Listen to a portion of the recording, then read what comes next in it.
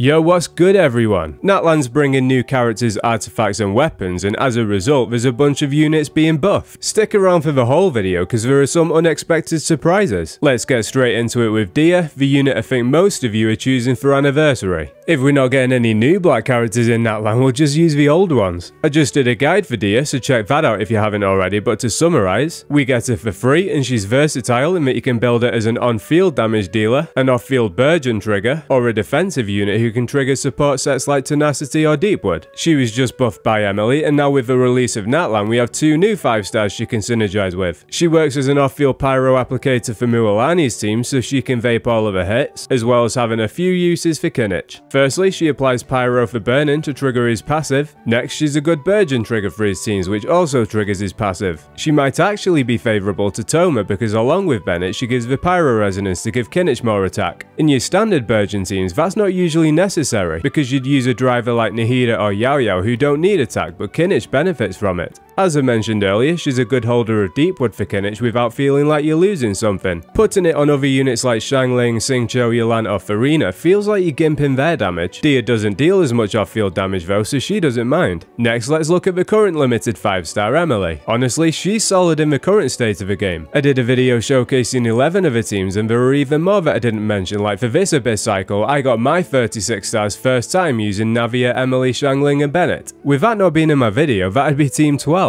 Even having all these options, she gets even more in Natlan because she synergizes with both Mualani and Kinich. Mualani wants to vape her hits, Emilie wants for things to be on fire too, very French of her. She gets more damage when enemies are burning. Running something like Mualani, Emilie, Bennett and a flex will be solid. You could even run your free Dehya and swap Bennett out for Nahida to give Mualani more elemental mastery. Then there's Kinich. Emilie's a burning off-field unit and while she has decent on-field pyro units, she doesn't have a true Dendro on-fielder. Kinich gives her that and with it pushes her ceiling even higher. Candace, one of my favourite designs in the game and she's consistently buffed with several new units. Xianyun gave her a plunge team, Arlecchino gave her a good team to make use of his C6, Emilie provided her with an off-field flex for a charge attack teams where you'd use Candace as a budget and hydro version of Hu Tao. With the release of Mualani, Candace gets another team in being able to buff Mualani's normal attacks while also providing the hydro resonance for more HP. Also, the Candace plunge team I mentioned is Candace, Furina, Xianyun and a flex. Some people put Yelan in there but it's not optimal with the damage being triggered by normal attacks, so you have to plunge, normal, plunge, normal, plunge, normal. With the introduction of Kachina, who we all get for free, she can hold Scroll of a Hero and give both Candace and Furina the full 40% hydro damage bonus. It's nice for Furina because it's likely you have a HP goblet on her, so the free 40% hydro damage to make up for it is appreciated. Now, when I dropped my Kachina guide last week, a lot of people in the comments were talking about how they're excited to run her with their Navia. Together, they're gonna help send enemies to the afterlife with Melus and Silver.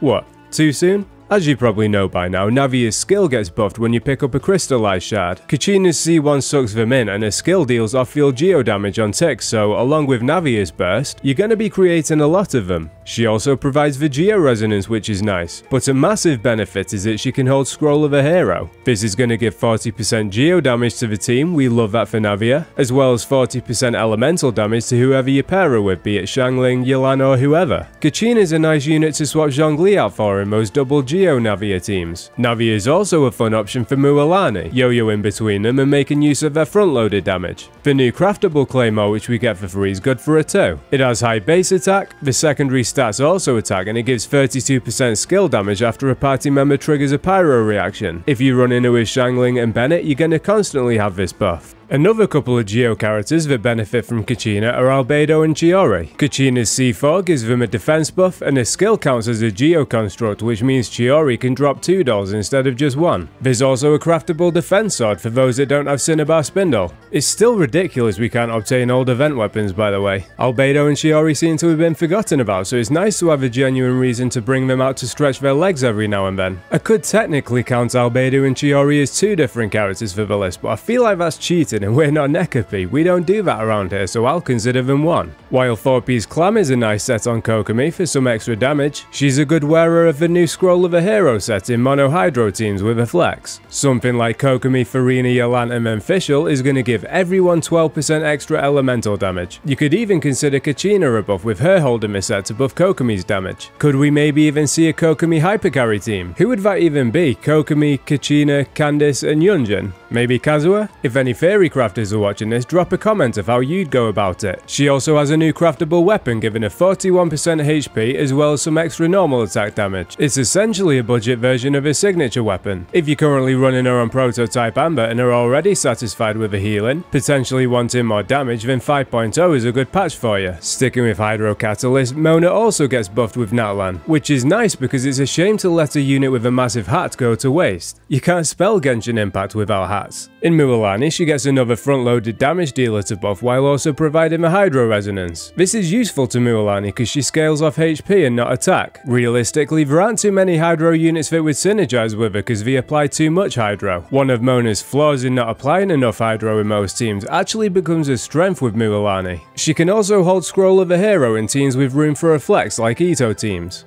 Do you remember when everyone pretended Kaveh was a good unit and had him trending on social media every time a banner was announced without him on it? Yeah, Chevreuse is the genuine version of that and we need a rerun for her ASAP. Natlan gives her a buff through his Scroll of a Hero set as opposed to running her on Noblesse. Don't get me wrong, Noblesse is nice and a lot of the units you run her with scale off attack anyway. But there are units like Dehya that have split scaling. She benefits way more from the extra elemental damage, and the rest of the team do too to be honest. 12% elemental damage is better than 20% attack. Like I said though, we need a rerun to pull her away from the grasp of Melus and Silver. Okay, that's the last one, I promise. Faruzan is yet another character buffed by the artifact set. Arguably her best team right now is Xiao, Faruzan, Furina and Xianyun. In this team, Xianyun holds Viridescent Venerer for Furina, and Faruzan usually holds Noblesse. Scroll of the Hero is better though because the buff is bigger than the 20% attack Noblesse gives, and Furina doesn't scale off attack anyway. Also, Chasca's confirmed to be an Anemo unit and with us not having many Anemo on-fielders, is likely she'll be one. I hope that's the case anyway because realistically, Faruzan's only good with Xiao and Wanderer. Even then, Wanderer benefits so much from having other elements in his teams that Faruzan feels optional. Chasca being able to bring Faruzan off the bench would be massive for her. Now, I know what you're all thinking. You know who really needs a buff? Obviously Bennett. No one uses Bennett anymore. He's essentially dead in a ditch with Melus and Silver. Nah, I'm not gonna go there. I said I'd stop, I said I'd stop, so I'm stopping. Bennett already gives a bunch of attack and in teams with another Pyro unit he gives even more because of a Pyro resonance. This kinda makes Noblesse feel like a bit of a waste. Scroll of a Hero will be more useful. Let's say you're running Childe National. You often activate Childe's skill to apply Hydro, immediately switch into Bennett's Burst to apply Pyro to the enemy, and in doing so you've triggered Vape. This now gives Child 12% Hydro damage and Xiangling 12% Pyro damage before you even switch into Kazuha and do all of his leaf shit. So that was at least 10 units getting buffed in Natlan. Drop a comment if I missed any because not only do I read all my comments but I try to reply to them all too. Check out my recent guides on how to build your free Dehya and Kachina as well as Mualani or Kinich if you go for them and take it easy.